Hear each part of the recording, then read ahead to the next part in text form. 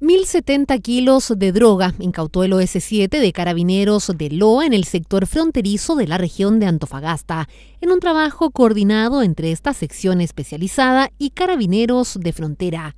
Estos últimos pertenecientes al retén Toconao en un patrullaje por la quebrada Nacimiento, a fin de verificar la presencia de un vehículo enterrado abandonado en las cercanías de la ruta 23CH, constatando que éste mantenía encargo vigente por robo.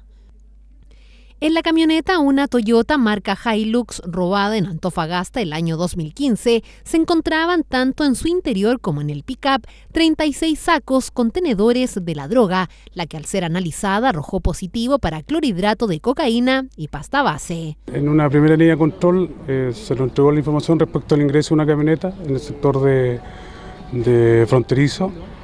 Eh, Caranero hizo el patrullaje respectivo y logró ubicar y levantar del lugar la camioneta que estaba enterrada por problemas seguramente climáticos, que fue abandonada y en el sector del, del pick-up mantenía la droga en 36 sacos de, de contenedores de droga.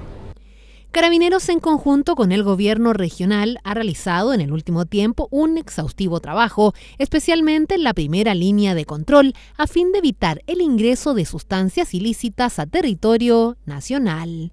En este hecho se configuran varios delitos. No hay personas detenidas, sin embargo la Fiscalía direccionará la investigación a fin de dar con el paradero de los responsables. Es un trabajo de la primera línea de control en el ámbito de la droga. Eh, realizado por personal del retén El Laco y Toconao, ¿cierto? Eh, complementando la información entregada recién, se tomó conocimiento de este vehículo, se ubicó y posteriormente se le entregó el procedimiento a los S7 para que la línea investigativa pudiera establecer eh, la identidad de, de, él o los responsables de este ingreso de droga al país.